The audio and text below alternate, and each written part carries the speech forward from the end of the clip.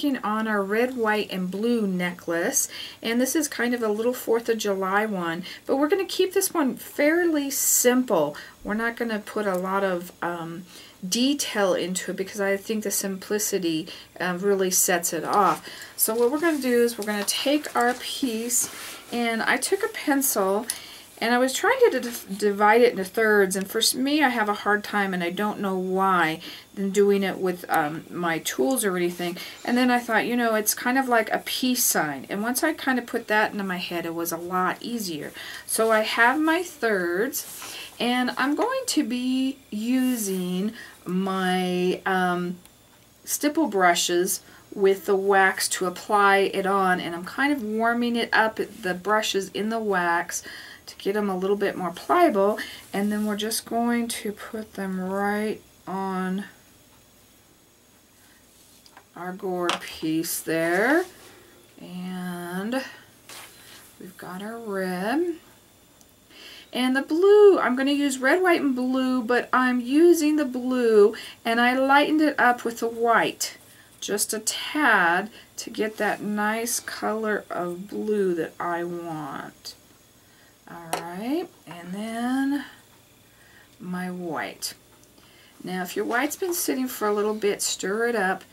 It is one color that likes to separate from the wax more than any of the others, and I'm not really sure why that is. It's I don't know if it's the amount of pigment it has in it or what. So I'm going to let that dry for just a minute and cool off and then I'm going to go ahead and put another white coat over the top because it just seems a little bit thinner and I want it just a little bit more um, thicker and it wasn't quite dry there. You don't want to put it on while it's still um, too warm because the it just moves the wax around. So you kind of let it cool all the way off and then we come back in and then we put that second coat on. Okay, so we've got that second coat on. So that is a lot better. So we're going to go over to our heat gun.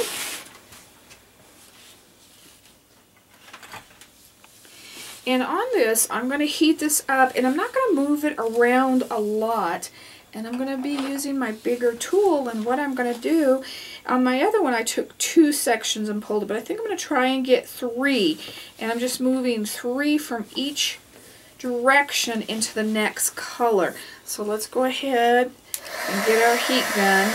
Now I've got my heat gun up more and I'm also going to take my tool and warm it up under the heat gun so that it's nice and warm so that I can move my piece around or my wax around and it's not cold.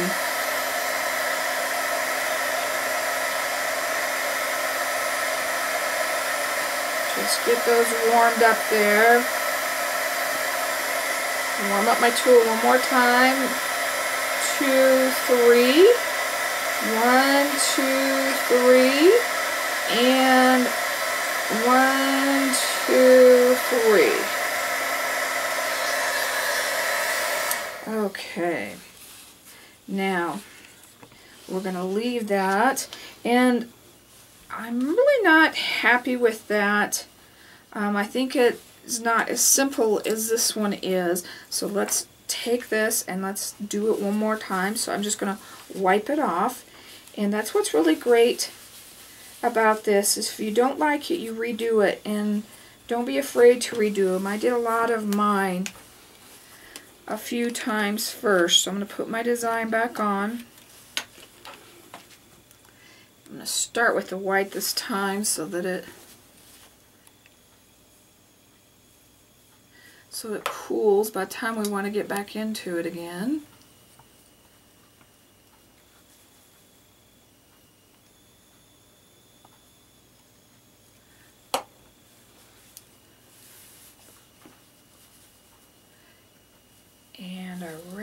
think this time I'm going to go back to only pulling two in between. I don't think I think three was too much and it just kind of muddied it. And like I said, this piece is more about being simple.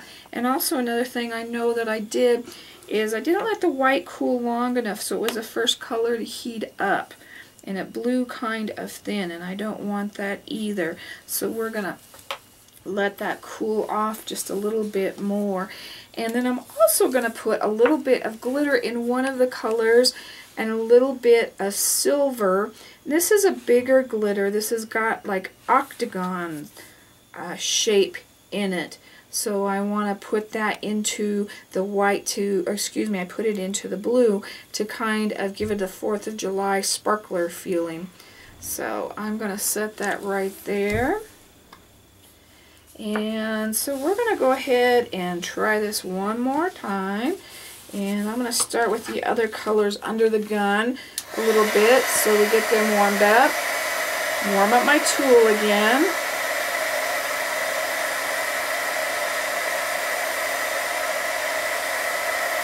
Alright, just let that kind of warm up. This is why I really like having the hanger available to put your gun on I'm going to go ahead and just pull twice. I'm going to wipe it in between two. One, wipe, two, wipe, one, and two. And I'm much, much happier with that. Now real quick, I'm going to sprinkle a little bit of the plasma glitter right into the red just to give it that extra sparkle. And then we're going to do just a couple of these octagons, not very much in that blue. And I didn't have that really warm, so we're going to heat it up just a tad, just to set those down into that. Okay. Now, we're going to let that cool for a minute and then we're going to apply our sealer over the top. And I use um, the Mod Podge but it's the Dimensional Magic. Make sure it's the Dimensional Magic not the Mod Podge by itself. It's real important. This gives it a nice hard coating and it's made to apply really really thick and unfortunately, our gourd pieces aren't always um, nice and flat so we're going to apply it with a brush just not straight out of the lid. And I suggest doing three to five coats of this. It's really really important so that if your wax get warm it doesn't melt underneath. And I always tell you test your product. Um, if you're somewhere where it's going to be warm or it's going to be worn in the sun always test your product. So we've waited for this to cool and we're going to come and remove our wax off the edges. So there, we are not going to put the Dimensional Magic sealer on the side, so it's real important to get this wax off. And the stain is okay to leave. That's not a big deal. Leave this, the stain color behind. Just make sure that you've removed all of the wax part of it. Out of there.